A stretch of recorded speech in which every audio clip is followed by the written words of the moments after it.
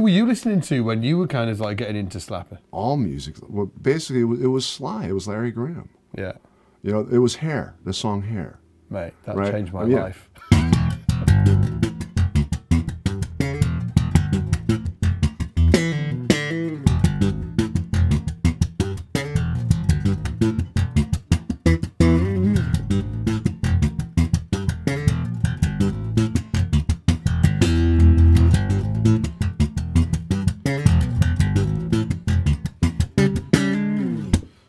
like that. Just it like did that. actually change my life. That song. No,